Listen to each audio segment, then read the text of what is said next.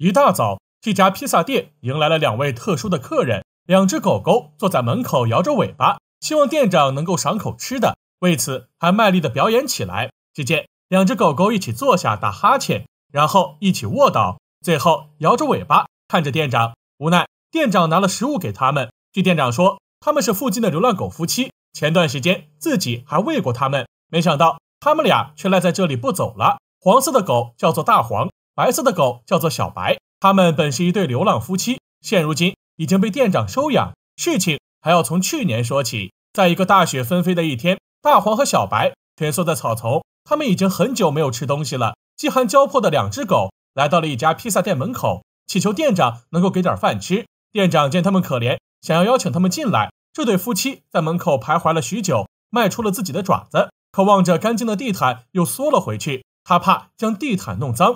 最终，店长从屋里端来了两盆狗粮。在之后的几天里，狗狗每天都会来到这里，这也吸引了很多顾客，每次都会上前摸摸狗头。这也让披萨店的生意越来越好。每天一大早，狗狗就会守在门口，也不会进店。当店长来上班时，它们也会上前迎接，就连晨跑时也会陪着一起。到了晚上，就睡在路边的草丛中。但有一天，外面下起了大雪，店长看着狗狗在那里瑟瑟发抖，小白看着有些沮丧，大黄却伸着爪子，不停安慰着小白。即使现在连饭都吃不饱，他们也不离不弃地陪在对方身边。而这温馨的一幕也感动了店长，店长下定决心要收养他们。因为大黄、小白不喜欢进屋子里，所以店长为他们准备了一个豪华狗窝。这对夫妻结束了流浪的生活，也成为了店里的吉祥物。他们不仅长得可爱，还待人友善，许多顾客来吃饭时都会忍不住摸摸狗头，既让店里的生意越来越好。老板的好心也得到了回报。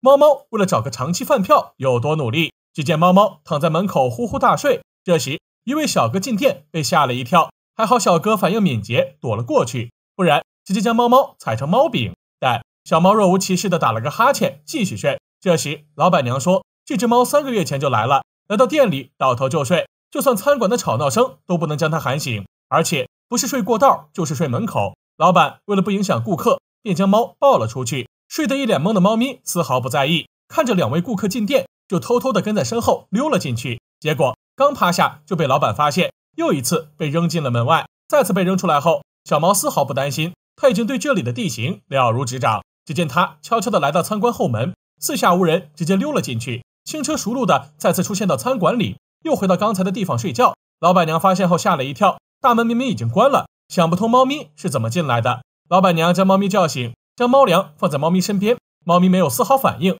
换个方向继续睡。随后又打开手机放起音乐。即使手机放着重金属摇滚乐，猫咪也毫无反应。但就这样贪睡的小猫，每到下午五点又会准时醒来，朝外面走去。为了弄清楚状况，节目组决定一路尾随。没过一会儿，就出现了一只小橘猫，原来是跑出去私会了。随后，两只猫便在草地上玩耍。等到天亮，猫咪才从小女友身旁离开。玩了一晚上的大橘身心疲惫，回到店里倒头就睡。老板娘在了解情况后，便决定收养这两只猫猫。餐馆老板还特地为猫咪安排了温暖的猫窝，这样猫咪就不用每天都出去。就这样，这对甜蜜的小情侣就在餐馆里住了下来，过上了衣食无忧的生活。这只橘猫为了报恩，竟做起了江洋大盗，一个月内就偷了上千只手套。这究竟是道德的扭曲，还是猫性的沦丧？究竟是什么原因让这只橘猫走上了犯罪的道路？在韩国的某个工地上，工人近一个月来频繁丢手套。为了查明原因，他们在夜晚时分架起了摄像头蹲点。